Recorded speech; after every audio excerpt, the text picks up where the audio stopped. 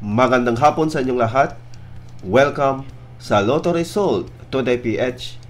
Heto na ang mga resulta ng mga PCSO games na 3D Lotto at 2D Lotto ngayong 5pm draw, July 16, 2024. Araw po ng Martes. Para sa resulta ng 2D Lotto ngayong 5pm draw, July 16, 2024. Heto ang mga lumabas na numero 1 at 20 in exact order. Para sa resulta ng 3D Lotto, ngayong 5pm draw, July 16, 2024.